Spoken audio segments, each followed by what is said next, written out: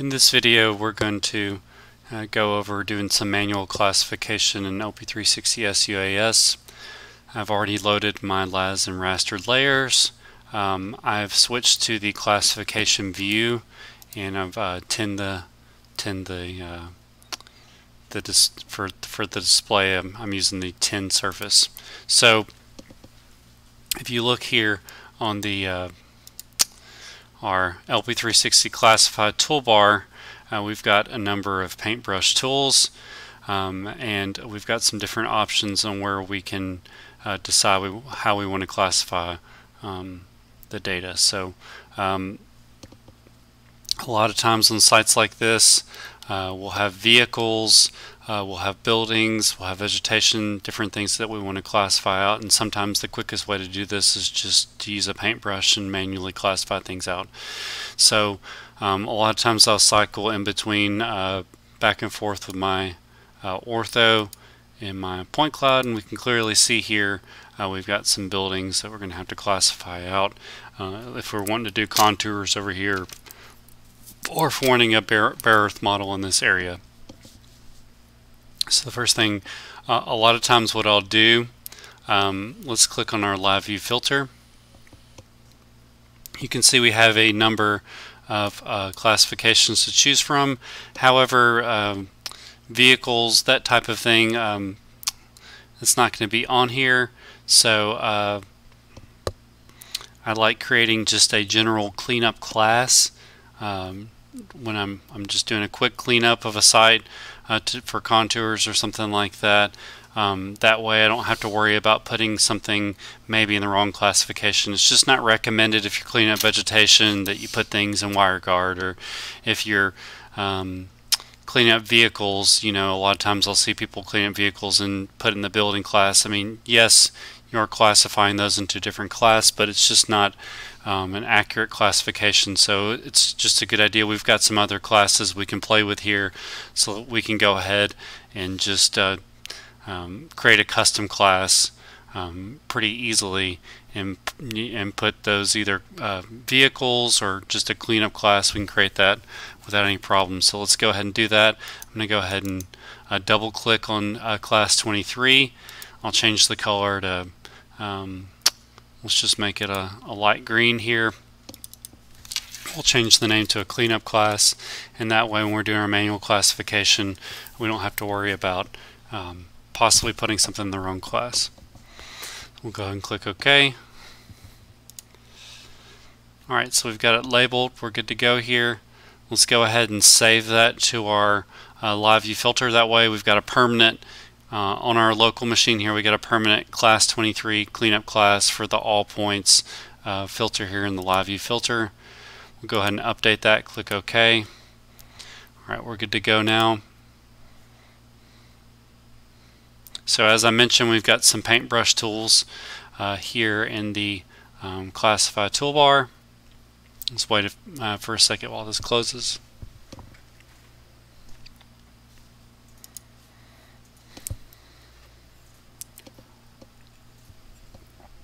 All right. So we're going to switch um, our destination class for our classification to a cleanup class. And um, also in an earlier video, we created a unclassified um, uh, a live view filter, um, a, a previously saved filter. So let's go ahead and choose that. If you hadn't already created that, it's really easy. You'll just click on the live view. Just give this a second.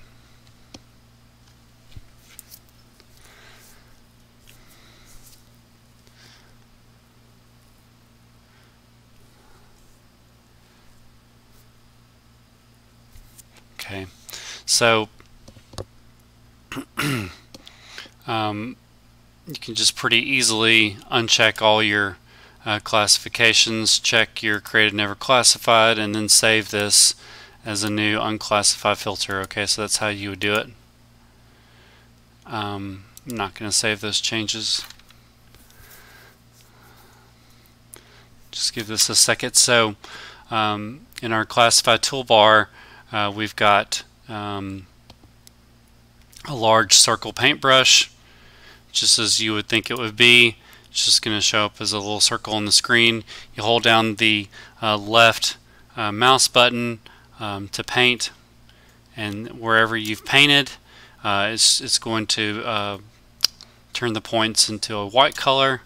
Um, you'll hit spacebar to confirm that classification.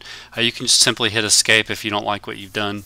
Um, so you can use that. If you hold down control and press the up or down arrows, you can make the paintbrush bigger or smaller. Uh, same way with the square one. Um, uh, so I just chose the square option or rectangular option. So if I hold down control press or up or down on the arrow keys, I can increase the size um, vertically. If I do uh, the left or right arrow keys, this can increase or decrease the size um, horizontally there. So you can see what's going on. So I usually like to use the circle paintbrush. Uh, you can also uh, classify points by polygon, just like we've been doing polygons in other videos. You're going to left click to start drawing the polygon, just left click a shape, just moving the mouse and left clicking, and then you'll double click to finish this. Well, actually, you don't have to double click on this one. You'll just hit spacebar to confirm when you've made the shape the way you want it to be. So I'm just going to go ahead and hit escape right here. So we've got a we've got a uh, um,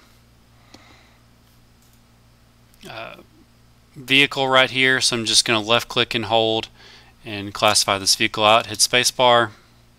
You can see uh, because I'm viewing this in the unclassified view, um, it just basically shows me taking out the vehicle. If I go back to all points, you can see the classification that was done.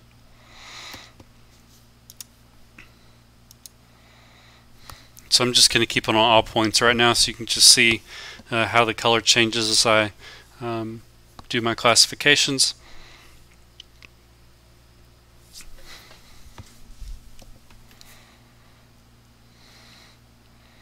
Alright, so let's just do a quick uh, classifying this building out. So I'm just going to use control up or down arrows to change the circle uh, paintbrush to the size I want.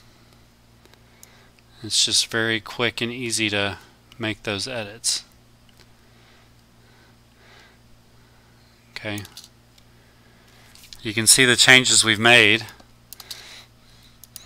I'm just going to switch back to unclassified. You can see how it's changed the point cloud. I'm just going to pull up the 3D view. I like pulling up the 3D view from time to time just to see, you know, what what does this look like in the 3D view, the changes I've made. You can get a pretty good idea in the map view, but the 3D view just gives you another dimension to look at. In a second here, we're going to go over classifying the profile view and looking at things in the profile view too. Alright, so it's going to pull up on your right side. You can see the voids there.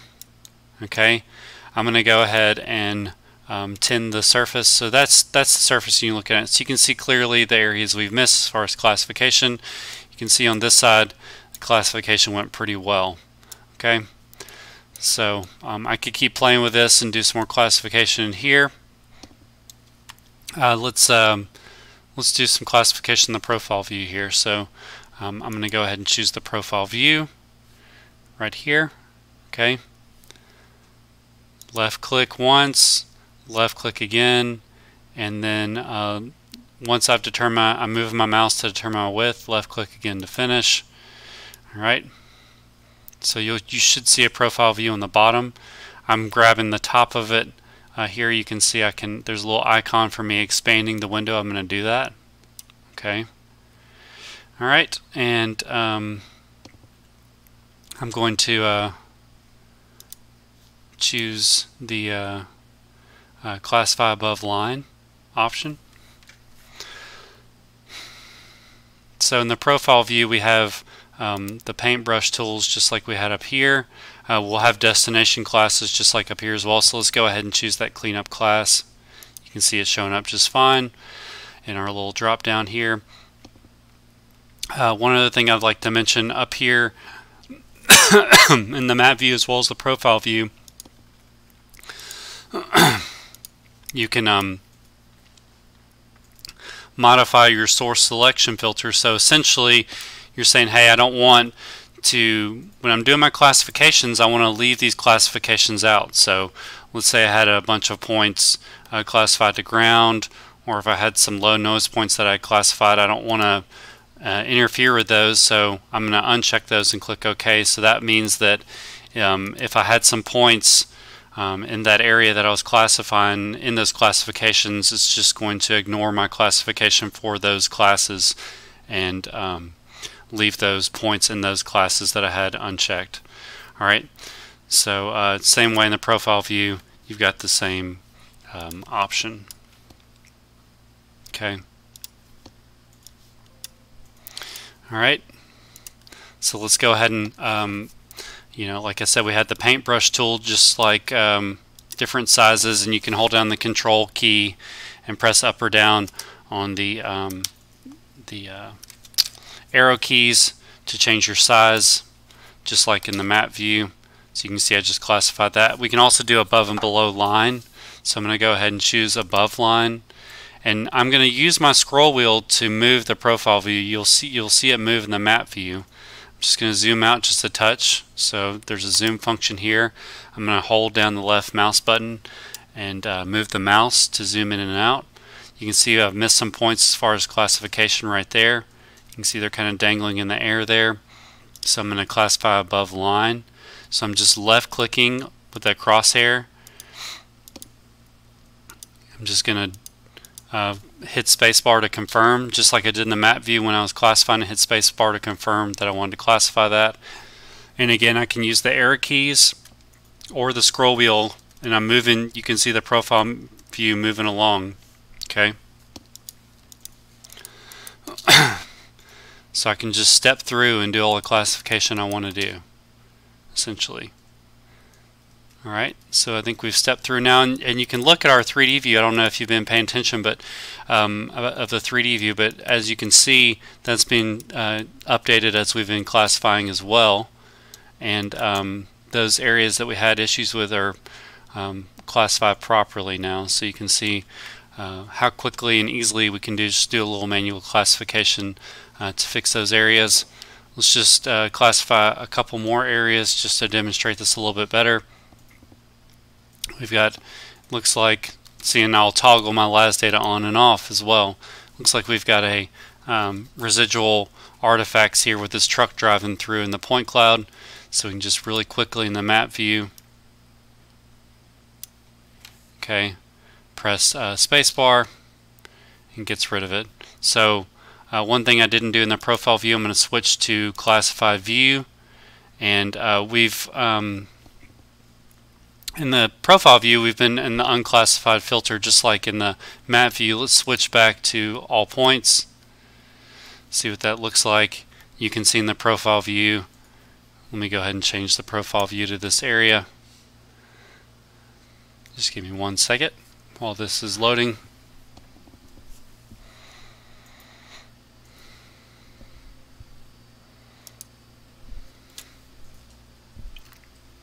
All right. So let's just draw the profile view over this. I'm just going to click on the zoom right here. I'm using the mouse. I'm just holding down the left mouse button and moving the mouse forward and backwards to zoom in and out. Right mouse button to pan. Okay. As you can see what's been classified, I'll switch back to unclassified. You can see we've taken that vehicle out pretty easily. Uh, so that's pretty much it for the manual classification. Uh, just a kind of a brief introduction there. Uh, one other thing I'd like to mention, any of those, uh, as long as we're not classifying uh, more than our performance options dictate, so let me click on performance options up here.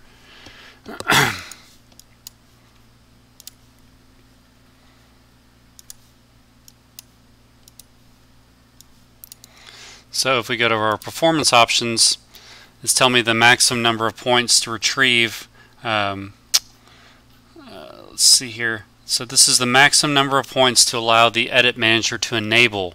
So if I classify more than 500,000 at a time, I'm going to get an error message saying, hey, we can't revert back uh, once you classify it. I can increase this number and classify. I can increase this number as much as I want. It just could perfect, uh, affect performance. That's why we have these set to these default values, just so your performance is not affected. Uh, you can raise as much as you want. And you can have uh, more editable points, but it would just maybe take longer for the computer to process that. Um, but essentially, you can see here I have an undo and redo classification buttons. You can see in the profile view that uh, vehicle came right back when I hit undo redo. Same in the profile view. You can undo and redo uh, those classifications. So um, if you made a mistake in your classification and you're below that number of points that's in your performance options, you can undo and redo your classifications as well. So it's just a, a easy way to do uh, some quick classifications uh, with a point cloud.